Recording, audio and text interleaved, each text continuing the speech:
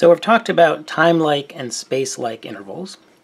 In this video, I'll say a little bit about light-like intervals and give a picture that summarizes the state of affairs.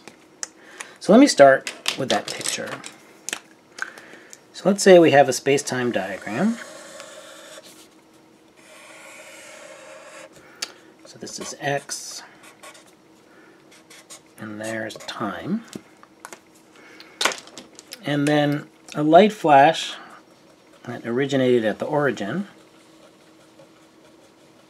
would head out like this. This is a light flash.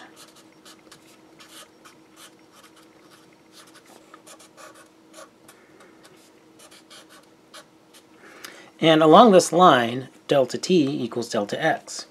The reason is that the speed of light is the speed of light. One x unit corresponds to one time unit, and so that would mean that delta x is going to equal delta t along this line. Over in this region, so if I had a point here compared to the origin, that uh, corresponds to the case.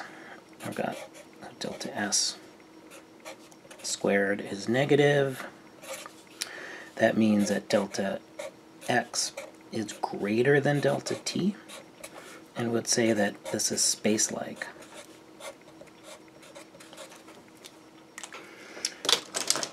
So one event at the origin, another event anywhere over here, anywhere in this triangle, will be space-like.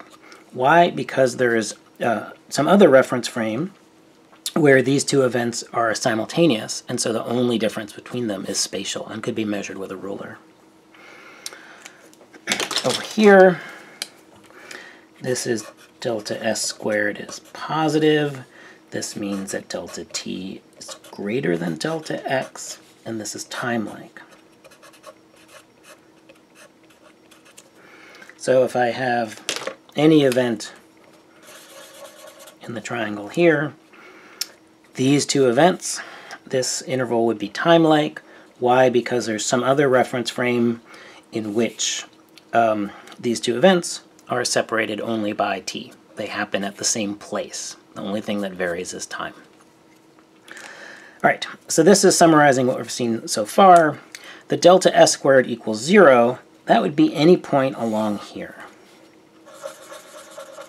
So the space-time interval between these two points would be light-like.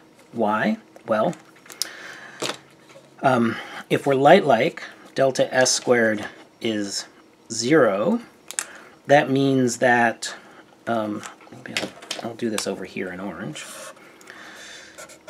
delta t equals delta x. So note that we can have a zero space-time interval, but that doesn't mean that the two events are the same, right on top of each other. Um, and so why is this light-like? The reason is, is that these two events could be connected via a light flash. So light-like is this sort of separating region. Over here we have time-like, and over here we have space-like. So this is a summary of the three different types of space-time intervals. And in the next couple videos, we'll look and think about um, what this tells us about the causal structure of space-time itself.